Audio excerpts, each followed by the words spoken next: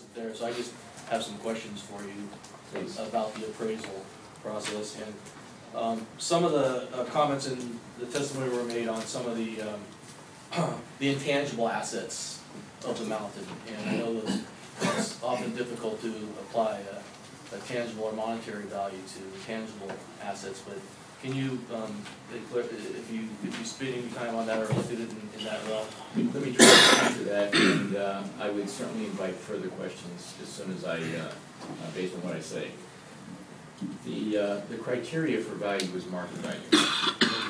My name is James Ahlstrom. Uh, I'm the one that authored the uh, opinion that was presented to the board last time we were here. The, uh, the criteria of market value, market is an economic term. It assumes multiple buyers, multiple sellers, etc., cetera, et cetera. Uh, We have an asset here that is very unique.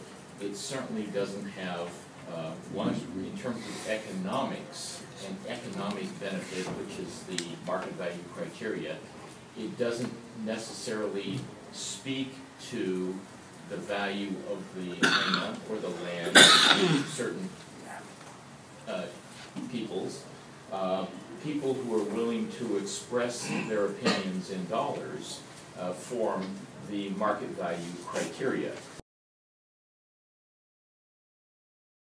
That is not to say that other people uh, don't see value, but it's not in economic terms.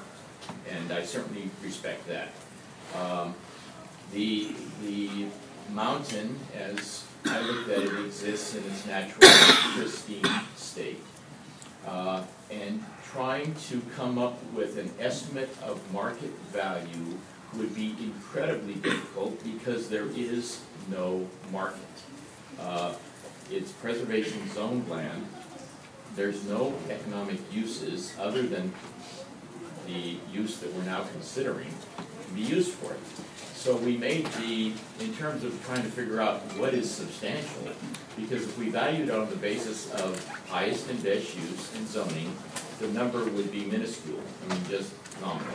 The market value, if, I understand a uh, an appraisal is not required, but if one were typically put out under a DLNR, uh, for the, for the use potentials that exist, for the zoning that exists, for the access that exists, and for the infrastructure that doesn't exist, uh, the number is gonna come back uh, at a fraction of, of what the contract number is, unless there's special instructions or criteria to the appraiser. I, I hope that addresses your question. It does, it does.